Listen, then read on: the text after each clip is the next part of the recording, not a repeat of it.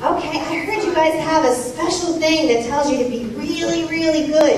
And it starts as S-P-A-R-K. Let's try that again. I don't think you guys were awake. Ready? S-P-A-R-K. Great, that is good. Now we all turned our listening ears on. We're all going to listen and we're all going to be good little sparks, right? Yeah, all right. And there's good sparks, and then there's some things that are not so good sparks, right? By raising your hand, can you tell me a not so good spark? The little boy back there. What's your name? What's a bad spark? What's a bad spark? Shouting. Uh, shouting? Shouting is a bad spark. Okay, and what, by raising your hand, what's a good spark? Oh, the girl in the pink right here. Um, it's when you do you don't talk. When you don't talk is a good spark and you turn on those listening ears and you listen, right? Okay, that's good and bad. And I'm going to teach you something today about good and bad fire. And sparks are in fire, right? So there's good fires, which are campfires, right? With mommy and daddy. Or barbecuing. What about you barbecue with mommy and daddy and use fire? Yeah, that's good fire, right? Then there's also bad fire. And that's what we're going to talk about today. Let me start off by telling you, my name is Miss Melissa. Can you guys say that? Miss Melissa, Miss Melissa, and I work for the Florida Forest Service. Can you guys say that? Florida Forest Service. And I brought with me a special friend for you guys if you're very, very good. You guys gonna be really, really good today? Yeah! Okay, so make sure you listen and, and remember spark in your head. Spark. Right. Okay, I want to read you a story.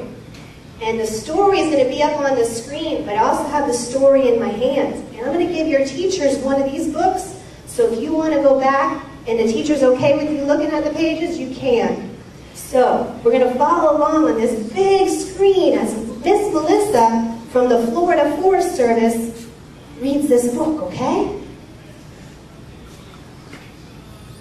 This is a true story of a little tiny bear cub who teaches us to be careful with fire. I'm sharing this story with you so you can understand how important it is for me and all of my little forest friends to never play with fire. Wildfires caused by careless people leave us all homeless. You can help me prevent wildfires by never playing with fire. Why don't you guys say that? We'll never play with fire. You try it. Never play with fire. Good, good. And if you see somebody playing with fire, you tell an adult, right? Absolutely. And remember, only you can prevent wildfires. A tiny bear cub was very happy in his forest in New Mexico.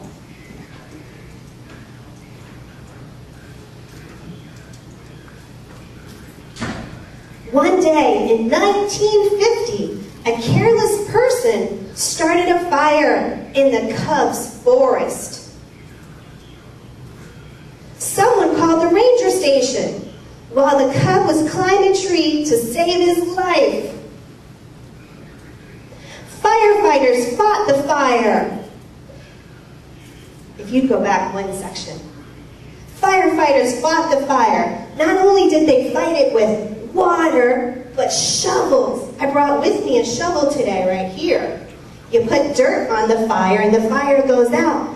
Then you fight fire with bulldozers. And the people I brought with me today, like the guy behind you, he fights fires with bulldozers here in Florida.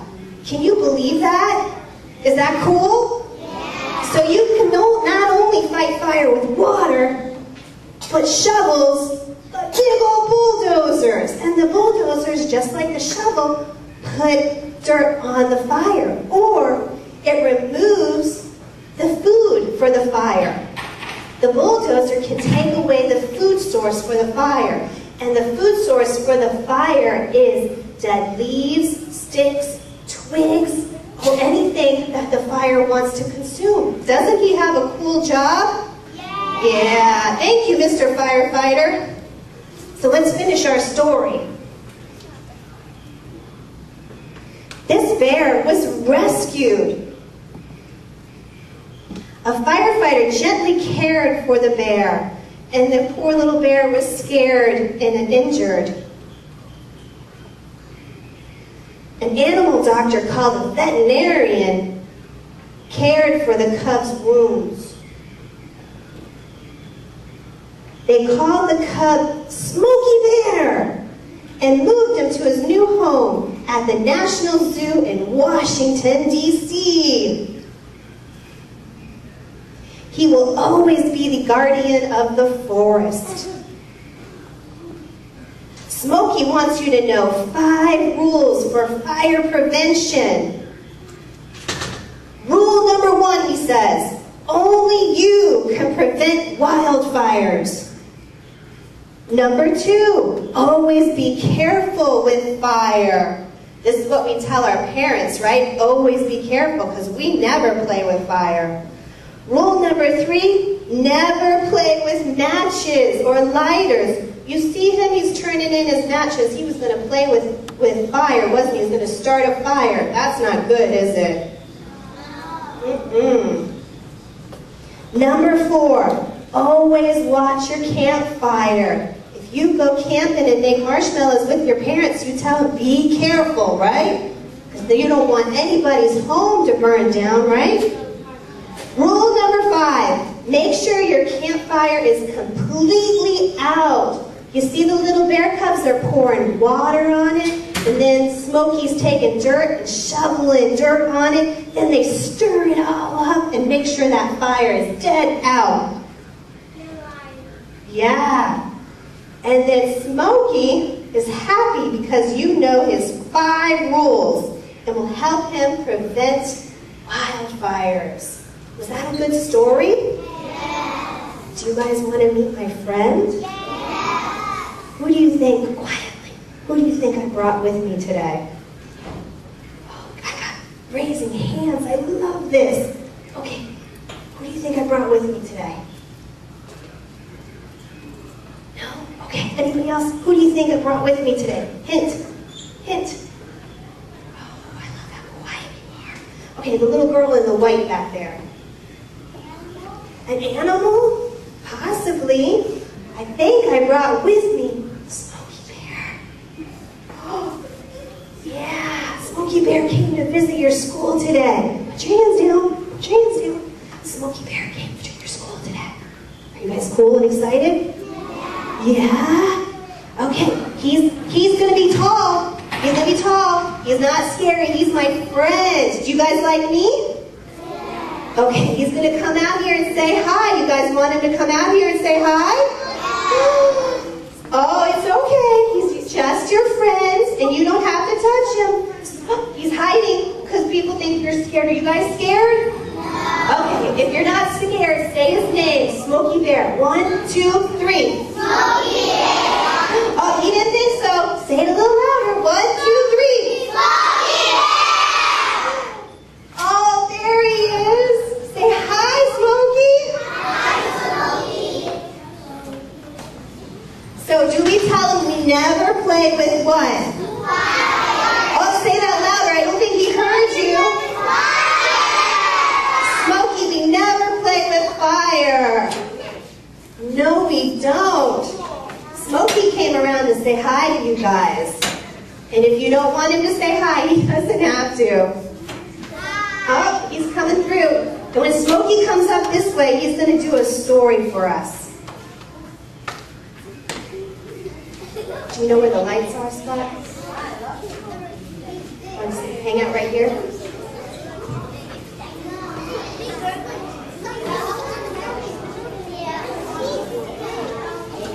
Smokey, I brought with me a bucket and a shovel over here if you want to when we go through our story. Scott. Smokey asked me to tell you guys a story. You guys want me to tell you a story?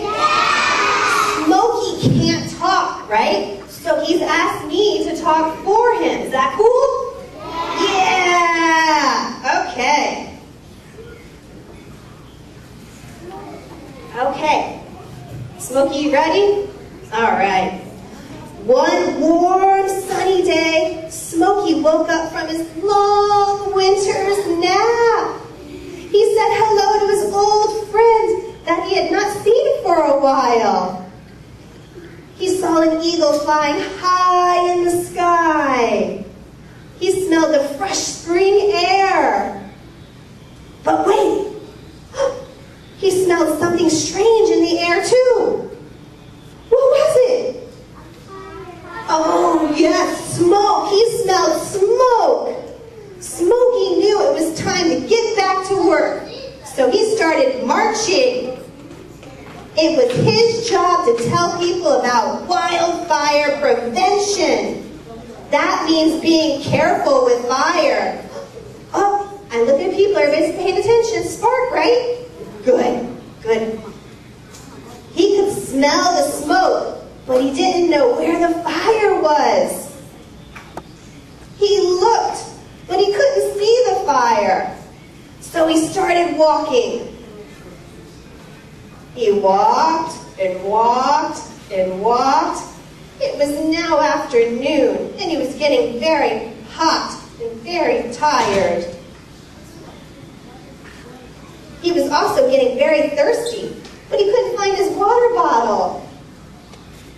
He could smell more smoke now, but couldn't see the fire. So he decided to climb a big, steep hill so he could get a better view.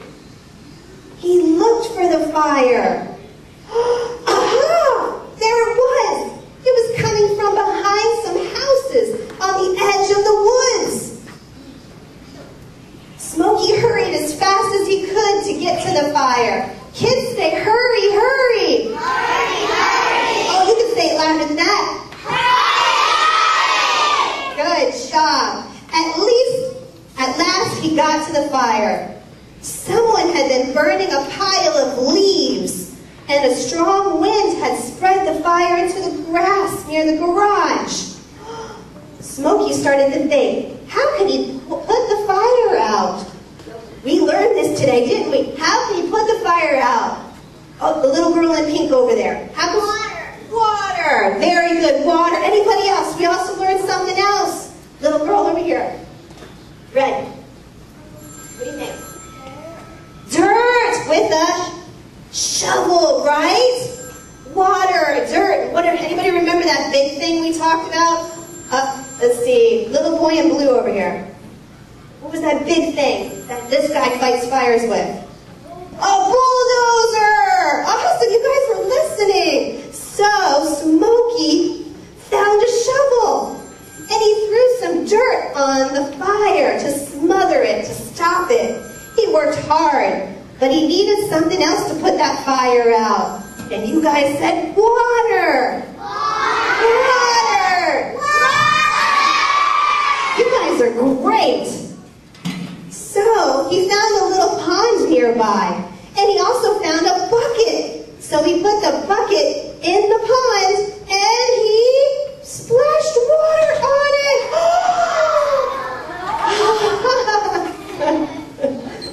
Smokey got the, the water in the right spot so that he would not get burned.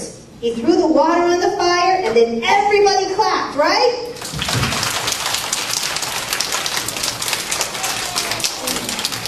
Good job. The kids saw how dangerous it was to burn on windy days. Fires can burn trees, sometimes houses, even people. That's sad, isn't it? Smokey reminded all the kids to always be careful with fire and never play with matches. And remember, only you can prevent wildfires. Was that good? Yeah, say thank you, Smokey, for coming. Thank you, Smokey, for coming. Now that we've seen two Smokey Bear programs, how different and unique the whole program can be, we want to go into some classroom tips. First of all, if you've never done a Smokey Bear program, please go to the U.S. Forest Service site and pull up the Smokey Bear Guidelines. This is a great tool and it talks about the things you can and cannot do when you do a Smokey Bear program or use Smokey Bear uh, for any kind of program. So some classroom tips. I have about eight classroom tips for you. Number one, plan it out. Get really planned and detailed. Call ahead of time. Schedule who, what, when, where, why, and, and know all the details of this. I have a list that I go through, a checklist, and it goes through all the things that I really need to know. Like the, the two programs you just saw, audio visuals. That's a very important thing to coordinate before you do a Smokey Bear program. Number two, location, location, location. When you do a Smokey Bear program, you don't want to set the kids up where they're going to get distracted. You want all the attention focused on you. If you put them next to a window, they're going to watch the person walking by the window. So you want to pick a location where you can actually be in charge and control of the program. Number three, introduce yourself and the rules. That's really important of the program. You want to talk to the teachers ahead of time. What I did was I went and talked to the teachers ahead of time and asked them, what is your communication style to, uh, to tell the kids to listen up? And for them, it was Spark. That's what the whole school program does, is Spark. Spark means you're a good student. And that's what I did ahead of time. Sometimes it's Verdi V, Sometimes it's listening ears. Sometimes they do hand clapping. Whatever it is, you ask the teachers ahead of time and find out how you get the kids to listen. Another thing is, if you want to get kids to sit down, they do something nationwide. It's called crisscross applesauce. Believe it or not, that's the whole program. It teaches kids to sit on their behind and cross their legs and sit up straight. So these are little tips that I have learned through the years that I'd like to share with you. Another thing is reward good behavior. I'd love to go into programs and bring in some Smokey Bear bandanas or giveaways, something that I can give the kids who are being really good at that time. So if a kid's listening or answers the question perfectly, I can walk up and give them and show all the other kids that this kid is doing something exceptional. Another thing you can do is bring the kids up with you. Have the kid turn the flip book. Have the kid dress up in the gear. Have them be a part of you. If you have a large audience, then you can have several kids. This is very, very important. Get the kids involved and reward good behavior. Um, how to get the kids to listen and uh, quiet. You ask the teachers ahead of time what kind of listening tools they have. And I think I talked to you about listening ears, Verdi V. Number four, suggested messages is really important. Think ahead of time, what do you want the suggested message to be? For me, it's the Florida Forest Service. I want to make sure my name gets out there. So when the kids go home and they tell their parents, what did you learn today, Mommy? Well, I learned, daughter, or however the conversation goes, I learned, Mommy, that the Florida Forest Service fights wildfires and the Florida Forest Service brought in Smokey Bear. Believe it or not, if you say it enough times for the kids, they're going to remember. What are your suggested messages? You want the kids to be aware that you don't want them to play with matches. Whatever your suggested messages is, or two ways in and out, like you've seen with, with the presentation. Very important, think of ahead of time before you do the program. Number five, keep your program short. You have uh, toddlers the, from 3 age 3 to age 6 you have, they have a short attention span, between five to 10 minutes. So keep your program short and vary it. If you've seen the two productions we just showed you with Smokey Bear, they, they had two different varies. They showed a little flip book style, and then we did a skit. Or we did a comic book, and then the, the uh, firefighter talked about gear. You want to switch things up. It's very, very important so the kids don't lose concentration. Number six, um, Number five, sorry, keep your program short. Number six, um, act the part. Get all excited, get all involved, have fun with it. If the pro program asks you to be quiet, then be quiet. If the program asks you to be excited, then be excited. Get all involved. And number seven, involve everyone. No, you don't need to involve everyone. Some kids actually get a little scared. So you don't want them to be involved if they are scared. You just say you don't have to be involved. You don't have to get close to Smokey Bear. And finally, number eight is have fun. That's the most important thing. Have fun. If you're having fun, then the kids are going to enjoy themselves and have this memory for the rest of their lives. Thank you.